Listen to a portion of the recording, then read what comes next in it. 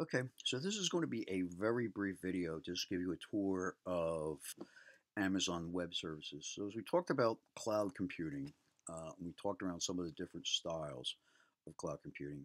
Uh, we talked about Amazon Web Services. Amazon Web Services was created by Amazon about 10, 11 years ago.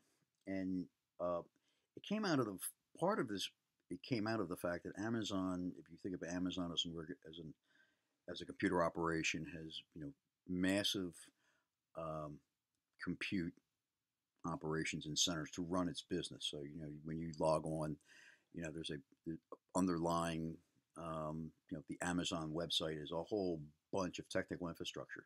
So what Amazon did was actually build upon what they had built for their sales operation and converted it or adapted it to also provide a um, infrastructure on demand, or as we call it, um, infrastructure as a mm-hmm. service. Okay, so um, where you would find this at, if you click to aws.amazon.com, it'll take you to AWS. All right, so you can uh, log in. So basically, all you need is your Amazon account the same one you, you can use to buy stuff with, will also get you into uh, AWS.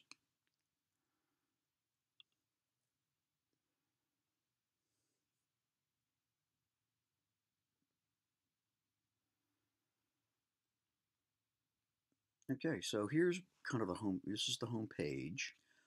Um, you have a whole bunch of stuff in here. I mean, this, this is a very big um, site with a whole bunch of different capabilities. So here is a services. So if we take a look at the list of what services they provide, all right, so you have compute services.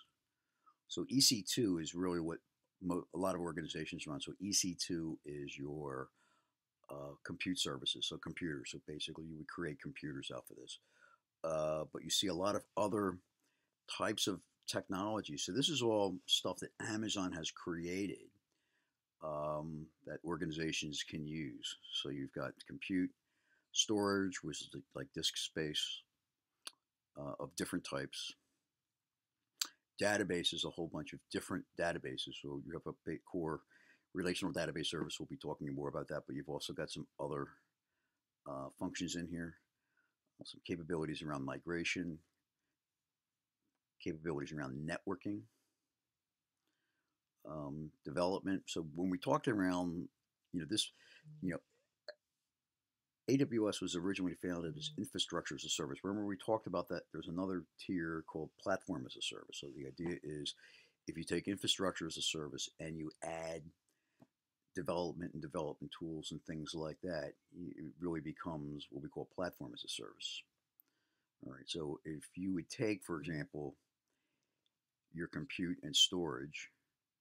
All right, that would be infrastructure as a service. However, if you start developing applications using databases, using development tools, basically what we have here, what we're showing here, um, what you'll end up with is basically you'll be running AWS as platform as a service. So you can see a lot of, as I said, a lot of capability, a lot of management tools, monitoring, um, media, machine learning. So there's a big emphasis on AWS has really been on providing capability for be able to do work with very large data sets, I mean massive data sets. So you know things like machine learning, or artificial intelligence, as it were, um, analytics, you know, are both capabilities, uh, functional, uh, functional applications that people or organizations are using. Uh, you'll see some other newer stuff out here. Things like, for example, Internet of Things. Um, some other, you know, business productivity. So they're adapting Alexa for business, sort of a voice a, a voice interaction, application integration. So these are the types of things you would use if you were doing platform as a service, as opposed to just simply AWS's applications as a service. So take real quick at um, EC2. which is their servers, basically compute as a service. And what you'll see here is your service network. You have different, a whole bunch of zones. So what, what they have done, what um, Amazon has done is a, a whole bunch of different uh, data centers distributed around the planet. So if you can see here, we have a uh, Asia Pacific availability zones. You know, so Northeast, which I believe is down in Virginia. Um, you know, the idea of you know the advantages of, of a cloud is that you know you have a large distributed operation, so that if you have a problem in, in one area, you can shift workload dynamically over to other places. All right. So they have, I'm trying to think of the number of data centers. They have a lot of data mm-hmm. centers right now. Um, resources that are, uh, you know, that I would I would be running. I'm only I only have one. I think I have one volume set right now. Different settings. Okay. So this is if you can think of it, this is all the functionality and all the capabilities you would um, have seen or would see in a data center, but available across the internet in a cloud. so if I want to create a instance, let's say a launch instance from a template.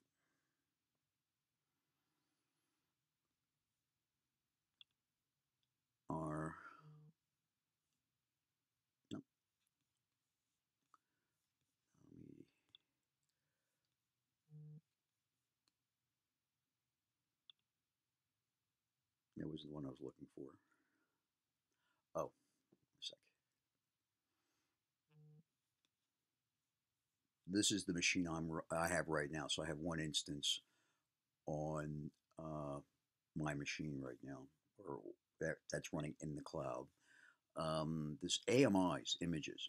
So what they've what's happened over the years is different companies have different organizations, AWS and other organizations have uh, built what they call AMIs, which are images. All right, so the AWS marketplace is a place where people have created different types of pre-packaged solutions that are that you can connect into. All right, so a bunch of different. So here's software as a service products. So um, Ubuntu, which is a, a, a Linux variant, different third party. These, these are different software products which are deployed on um, on AWS. You see, this is lots and lots and lots of functionality, lots and lots of different applications. This has really grown into a significant um, platform. As I said, companies like, for example, um, Netflix run all of their operations, all the stuff that runs all the video distributions is run, has been migrated into um, AWS. So what I'm looking at right here is there are looking at different types of operating systems, like machines with different types of operating systems, with different with with different plans. All right, so um, so we have 200, 236 basically pre-built machines um, that you can just connect into and fire up. All right.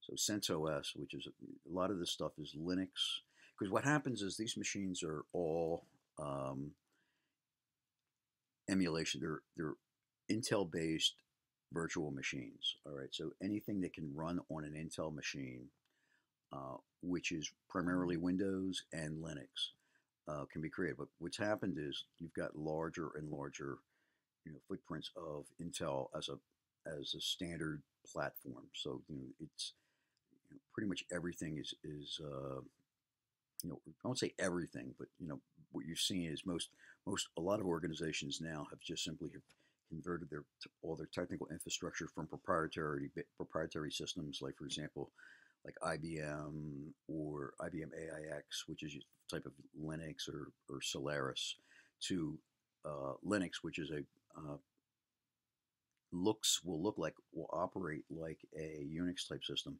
but is in actuality a you know a, a different operating system capable of being run on an Intel machine. We say here, give you an idea, 32-bit versus 60, 64-bit. Different regions. So you've got Northern California, Oregon, uh, a government cloud uh, set up. You have different instance types. So you have this micro instances, which are free tier. So you can run some stuff just to kind of experiment with um, general purpose machines, small, medium, large, extra large, two times extra large, so six times, 16 times extra large. So it's, you think of this as, you know, you, you, you can establish a system based upon the size of the, like t-shirts. So, so, so small, medium, large, extra large, two times extra large. All right, so you've got to, you said there's a, there's a lot in this, and you're seeing more and more organizations are actually looking to platforms like AWS, and Microsoft. Microsoft has a counterpart to this, which is called um, Azure. All right, but it works really kind of the same way. You know, a virtual machines. Um, can be accessed across the internet, can be dynamically established, and you pay basically for what you use. Right? So that's a real brief tour of AWS. I want to give you kind of a view of it and some of the functionality that's in it. All right.